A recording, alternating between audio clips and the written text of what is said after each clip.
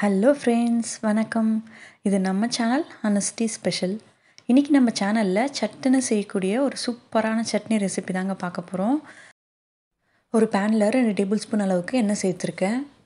எண்ணெய் நல்லா சூடானதுக்கப்புறமா ஆஃப் டீஸ்பூன் கடுகு ஆஃப் டீஸ்பூன் உளுத்தம்பருப்பு கால் டீஸ்பூன் சீரகம். கடுகும் சீரகமும் நல்லா பொரிஞ்சு வந்ததுக்கப்புறமா நம்ம வெங்காயம் சேர்த்துக்கலாம். ரெண்டு பெரிய சைஸ் வெங்காயம் இன்றைக்கி நான் எடுத்திருக்கேன். நல்லா வந்து வதக்கி கொடுத்துக்கலாம்.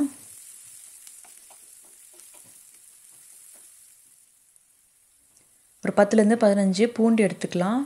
அதையும் சேர்த்துட்டு நல்லா வந்து வதக்கி கொடுத்துக்கோங்க.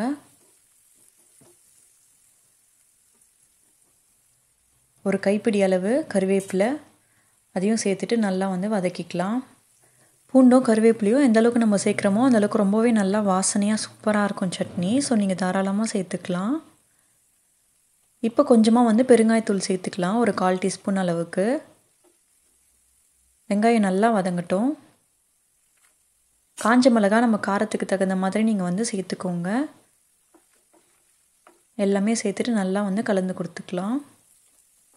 வெங்காயம் இந்த அளவுக்கு நல்லா வதங்கினதுக்கப்புறமா ஒரு தக்காளியை வந்துட்டு அதே மாதிரி நீல வாக்கில் கட் பண்ணி சேர்த்துருக்கேன். கொஞ்சம் சீக்கிரமாக வதங்கிடும் அதனால்.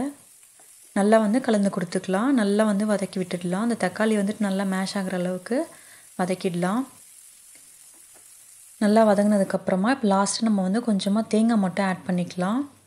ஒரு ரெண்டே ரெண்டு பீஸ் மட்டும் நான் எடுத்தேன். அதை குட்டி குட்டியாக கட் பண்ணி சேர்த்துட்டு ஒரு ஒரு நிமிஷம் போல் நம்ம நல்லா வதக்கினதுக்கப்புறமா ஸ்டவ்வை ஆஃப் பண்ணிவிட்டு நல்லா வந்து ஆற வச்சுடுங்க. ரொம்பவே சட்டுன்னு சீக்கிரமாக செஞ்சிடலாம். இப்போ நம்மளுக்கு பாருங்கள் நம்மளுக்கு நல்லா ஆறிடுச்சு வெங்காயம் தக்காளி எல்லாம். இப்போ முதல்ல நம்ம அந்த காஞ்ச மிளகா தேங்காய் அதெல்லாம் மட்டும் போட்டுட்டு ஃபஸ்ட்டு அரைச்சிட்டு வந்துடலாம்.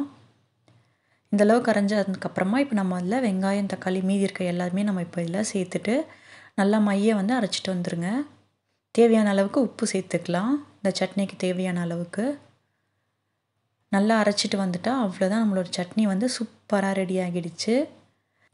இட்லி தோசை சப்பாத்தி எல்லாத்துக்குமே ரொம்பவே சூப்பராக இருக்கும். ஸ்பெஷலி இட்லிக்கும் தோசைக்கும் செம்மையாக இருக்கும். ஸோ கண்டிப்பாக ட்ரை பண்ணி பாருங்கள் இந்த வீடியோ பார்த்ததுக்கு நன்றி. இந்த வீடியோ உங்களுக்கு பிடிச்சிருந்தா லைக் பண்ணி கமெண்ட் பண்ணுங்கள் மறக்காமல் நம்ம சேனல் அனிஸ்டி ஸ்பெஷலுக்கு சப்ஸ்கிரைப் பண்ணிவிடுங்க